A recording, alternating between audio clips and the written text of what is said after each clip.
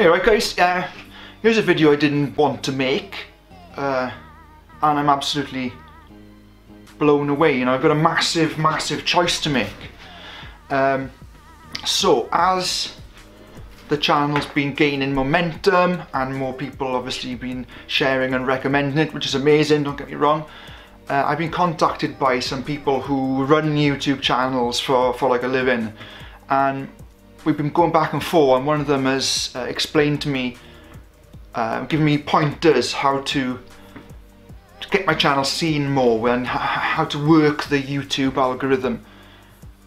And it's come to my attention that, so obviously I'm Predator or Prey online.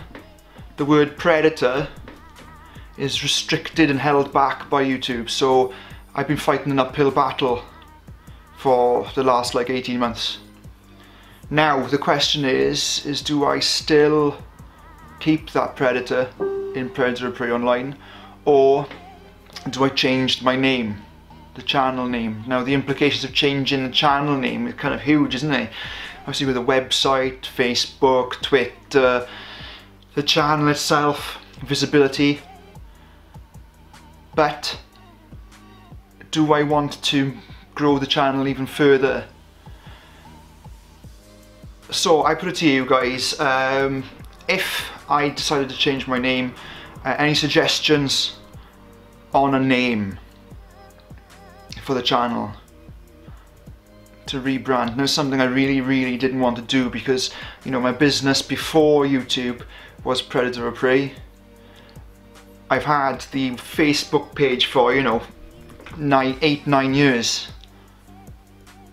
It's, uh, it's blowing my mind.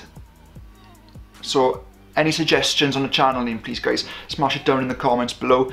I'll read every one, uh, consider every single one of them. Uh, and we'll see what's happening moving forward. Lovely. Cheers guys. Like, comment, subscribe. Uh, let's try and fight this algorithm. Fuck it.